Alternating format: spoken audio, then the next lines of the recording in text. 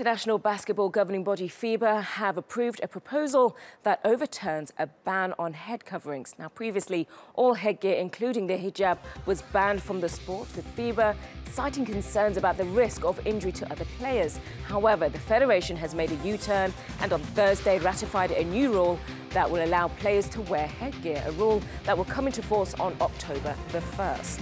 So, under the new rule, headgear must meet certain criteria to be allowed in the competition. Now, it has to be black or white or of the same dominant colour of the uniform.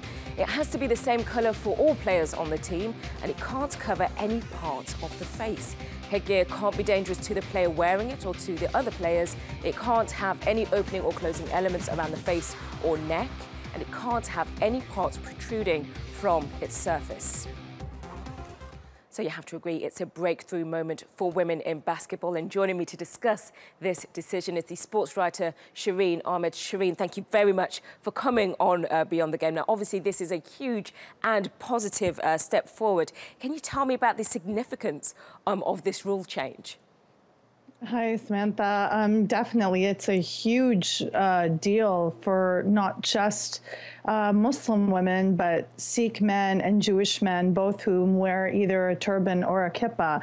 And this essentially will change the trajectory of basketball, in my opinion, because it's far more inclusive than it was previously. I mean, how will this, this new rule now, how would it affect uh, Muslim countries. Uh, you know, you have young girls wanting to play sport, but they might feel a bit held back because, you know what, I'm not allowed to wear something that is culturally mine. Absolutely. And I think that the most important thing to recognize is that the biggest, one of the biggest hurdles for young Muslim women is, is equipment, is, is uniform, accommodation. It prevents them. This will essentially give them a sense of, you know, we have always belonged on the court, but now we can actually participate in this game that we love so much. And in terms of what it'll look like, I mean, just a couple years ago, the Qatari basketball team was ejected and, and, and dismissed, and they ended up leaving the tournament at this at the Asian Games in Incheon. And I think this is really important because it changes not only people's perception of what Muslim women can do, which is often misguided, particularly in sport, but it helps reshape what we think basketball should look like. And that's really important because representation really matters. Well, when it comes to FIBA, do you personally feel like FIBA took so long to get to this decision because they just didn't understand or know how to deal with certain cultural issues? It, it's I not so black and white, is it?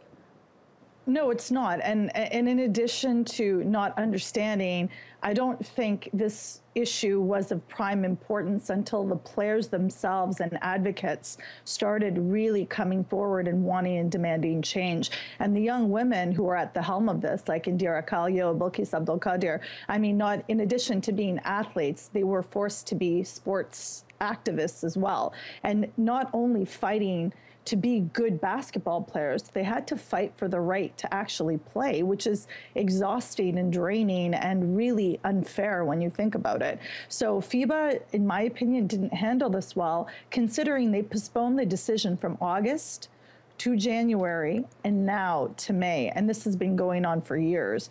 So I hope the players get closure. I hope they feel um, positive, but it's been a long time. It's been a tough ride. It's been a tough ride, but you're you're finally here. You finally got it. But um, another question outside of sport: um, Do you feel that perceptions are actually changing about wearing the hijab? Well, I hope so. And I think it's very important to remember that in, in, all places, it's not the case that women get to choose their headscarves. In some places, they have to cover while playing, but in a lot of places, they don't. And every Muslim woman's story is different. Every Muslim athlete's story is different. And we have to remember this. And I hope moving forward, people see this that we need to support women's choices and what they want to do. If they want to wear shorts, that's fine. If they want to wear a hijab, that is fine too. Brilliant. Shireen, thank you so much for coming on to Beyond the Game.